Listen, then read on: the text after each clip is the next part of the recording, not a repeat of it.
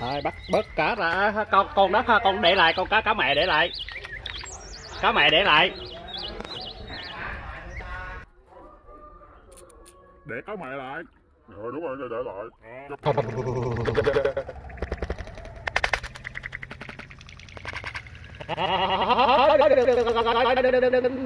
Để nó quẩy tội nó. Bắt mấy con cá con đem thả được rồi còn cá mẹ cứ để trong hồ. Đẹp quá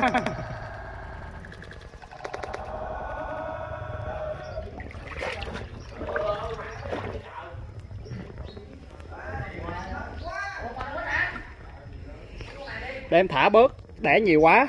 Thả ra sông cho nó ờ, phóng sinh bớt.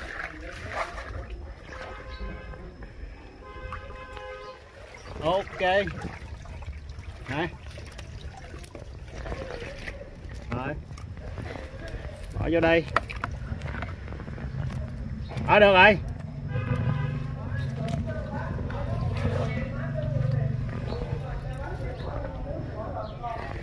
Ok được rồi rồi được rồi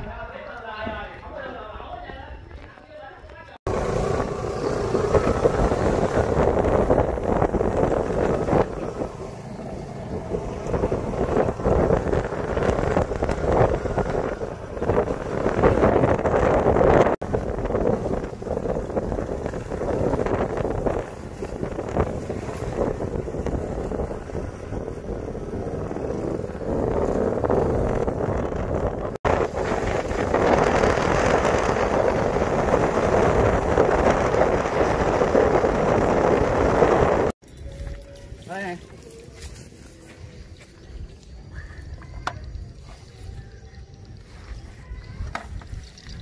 đây phóng sinh cho mấy con cá nó xuống đây? Chỗ kênh này nước nó chảy mạnh nước nhiều thì nó ổn định được.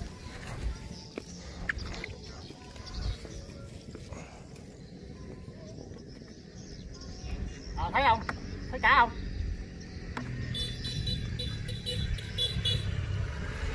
Từ mới thấy cá nó bơi ra ngoài hồ được.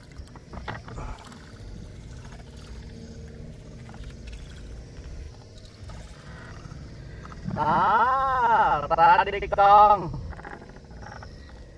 Sướng không?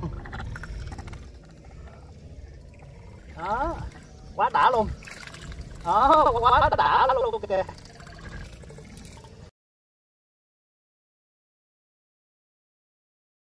Quá đã luôn kìa. Ồ, nó bơi kìa.